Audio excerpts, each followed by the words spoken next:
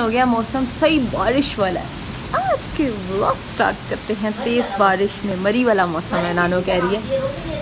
हाँ यहाँ पे भी ऐसा ही हो रहा है रोज़ शाम को बारिश वाला मौसम हो जाता है। मैं और सबसे पहले जो है ना मैं अपनी स्किन केयर करूँगी। सो so, आज मैं अपनी स्किन केयर में जो प्रोडक्ट यूज़ करती हूँ मेरी शॉर्ट वीडियो में है। तो मैं पूरी डिटेल नहीं दूँगी सो इसको जल्दी से करती हूँ ब्लॉग आज मौसम इतना अच्छा था, इतनी ज़्यादा फ्रेश हवा थी तो मैंने सोचा यहीं पे कर लेती हूँ, साथ साथ आप लोगों के लिए ब्लॉग भी बना लेती हूँ। जल्दी जल्दी मैं इसलिए हूँ क्योंकि इसके बाद हमने जाना है मार्केट और वहाँ से जाकर लेकर आना है। कल का जो मैं कोटी लेकर आई थी उसके साथ का ड्रेस मैंने नहीं लिया था। तो मैं सोच रही हूँ कि ड्रेस दे दूँ क्योंकि फिर उसके बाद टेलर ने ना सीना नहीं। मास्क हमारा ड्राई होता है तब तक हम नानों को उनका यू यू पावर का कार्ड डाल देते हैं।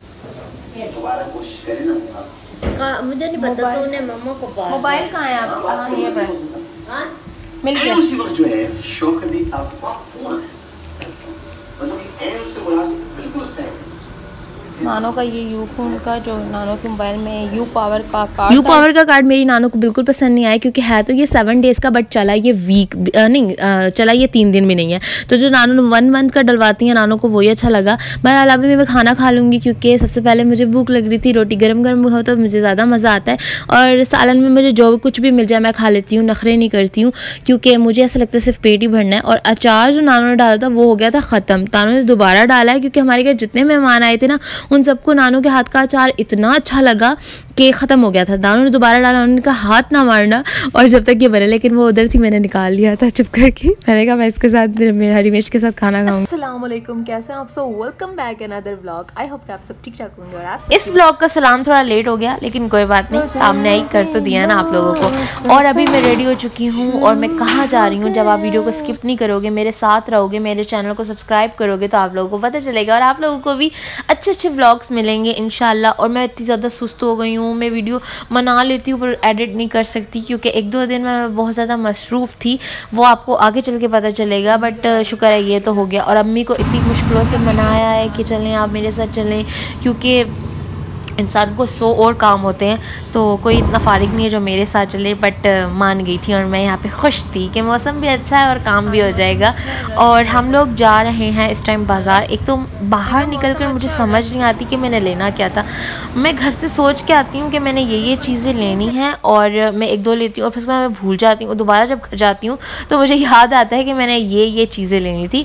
बट हो जाता है काम। और यहाँ पर मेरी दोस्त ने भी आना था क्योंकि उसने भी मेरे साथ का ही ड्रेस लेना था। हमने सोचा था क्योंकि आगे हमारा एक इवेंट आ रहा है जिसमें हमने सबने एक जैसे ही पहने तो हमने सोचा था कि हम एक जैसे ही ले लेते हैं। तो वो यहाँ पे पहुँच चुकी थी और हम मुझे जहाँ तक जिस दुकान का कपड़ा पसंद है वो है राबी सेंटर टू में।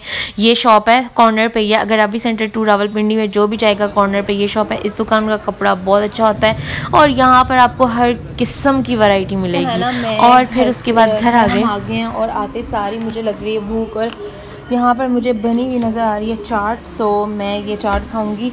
मैं कुछ नहीं खा सकती थी क्योंकि आजकल जो है ना मैं थोड़ा सा अपने डाइट का ख्याल रख रही हूँ। और मैं यहाँ से चाट लूँगी थोड़ी सी। जो कि चाट तो ना कह लें बस डाइट वाली चाट कह लें इसे। अब मैं अपनी चाय लेकर ऊपर आ गई हूँ क्योंकि मौसम अगर आप लोग देखें ना तो बहुत ही ज़्यादा खूबसूरत है। मैंने सोचा ऊपर जाके चाय को एंजॉय करती हूँ साथ आप लोगों के साथ ढेर सारी बातें करूँगी और साथ ही साथ कुछ रील्स बनाऊँगी। पैंतालीस मिनट वॉक के बाद मुझे समझ नहीं आती मैं इनमें से कौन सा फ्लेवर ग्रीन टी पिए अब आप लोग बताएँ आप लोग भी नहीं बता सकते।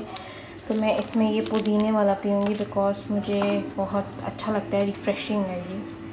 सो जनाब, ये था मेरा आज का छोटा सा ब्लॉग आई होप आपको अच्छा लगा होगा। अच्छा लगे तो चैनल को सब्सक्राइब वीडियो को लाइक कीजिएगा और अपनी दुआ में याद रखिएगा।